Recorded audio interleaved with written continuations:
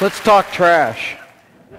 You know, we had to be taught to renounce the powerful conservation ethic we had developed during the Great Depression and World War II.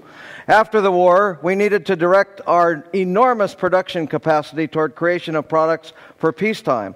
Life magazine helped in this effort by announcing the introduction of throwaways that would liberate the housewife from the drudgery of doing dishes. Mental note to the liberators throwaway plastics take a lot of space and don't biodegrade. Only we humans make waste that nature can't digest. Plastics are also hard to recycle.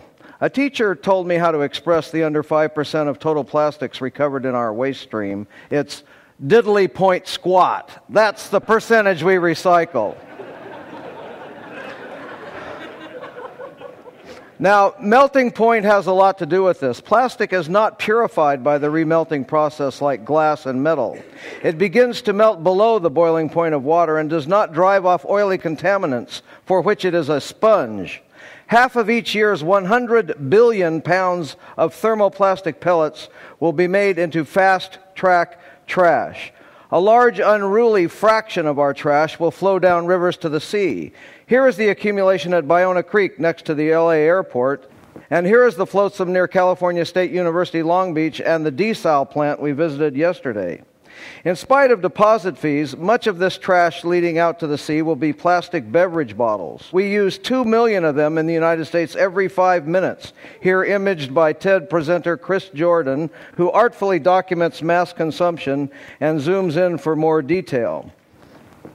Here is a remote island repository for bottles off the coast of Baja California. Isla San Roque is an uninhabited bird rookery off Baja's sparsely populated central coast. Notice that the bottles here have caps on them. Bottles made of polyethylene terephthalate, PET, will sink in seawater and not make it this far from civilization. Also, the caps are produced in separate factories from a different plastic, polypropylene. They will float in seawater, but unfortunately do not get recycled under the bottle bills. Let's trace the journey of the millions of caps that make it to sea solo. After a year, the ones from Japan are heading straight across the Pacific, while ours get caught in the California current and first head down to the latitude of Cabo San Lucas. After 10 years, a lot of the Japanese caps are in what we call the Eastern Garbage Patch, while ours litter the Philippines. After 20 years, we see emerging the debris accumulation zone of the North Pacific Gyre. It so happens that millions of albatross nesting on Kure and Midway atolls in the Northwest Hawaiian Islands National Monument forage here and scavenge whatever they can find for regurgitation to their chicks. A four month old Laysan albatross chick died with this in its stomach. Hundreds of thousands of the goose sized chicks are dying with stomachs full of bottle caps and other rubbish, like cigarette lighters. But mostly bottle caps. Sadly, their parents mistake bottle caps for food tossing about in the ocean surface. The retainer rings for the caps also have consequences for aquatic animals. This is Mae West, still alive at a zookeeper's home in New Orleans. I wanted to see what my hometown of Long Beach was contributing to the problem, so on Coastal Cleanup Day in 2005, I went to the Long Beach Peninsula at the east end of our Long Beach. We cleaned up the swath of beach shown. I offered five cents each for bottle caps. I got plenty of takers. Here are the 1,100 bottle caps they collected. I thought I would spend 20 bucks that day. I ended up spending nearly 60. I separated them by color and put them on display the next Earth Day at Cabrillo Marine Aquarium in San Pedro. Governor Schwarzenegger and his wife Maria stopped by to discuss the display. In spite of my girly man hat, crocheted from plastic shopping bags, they shook my hand. I showed him and Maria a zooplankton trawl from the gyre north of Hawaii with more plastic than plankton. Here's what our trawl samples from the plastic soup our ocean has become look like. Trawling a zooplankton net on the surface for a mile produces samples like this and this.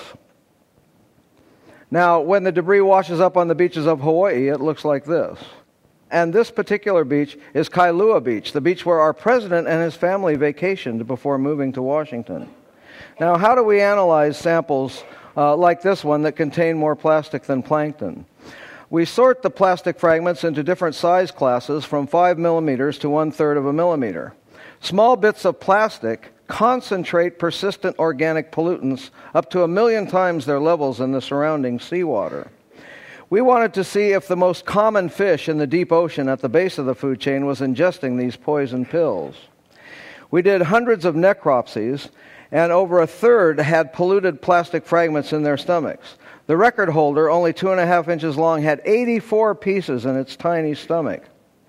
Now, you can buy certified organic produce, but no fishmonger on earth can sell you a certified organic wild caught fish. This is the legacy we are leaving to future generations. The throwaway society cannot be contained, it has gone global. We simply cannot store and maintain or recycle all our stuff. We have to throw it away. Now, the market can do a lot for us, but it can't fix the natural system in the ocean we've broken. All the king's horses and all the king's men will never gather up all the plastic and put the ocean back together again the levels are increasing, the amount of packaging is increasing, the throwaway concept of living is proliferating, and it's showing up in the ocean. He offers no hope of cleaning it up.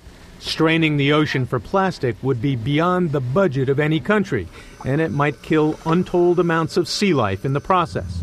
The solution, Moore says, is to stop the plastic at its source Stop it on land before it falls into the ocean. There's your typical t-shirt shopping bag. And in a plastic wrapped and packaged world, he doesn't hold out much hope for that either. This is Brian Rooney for Nightline in Long Beach, California.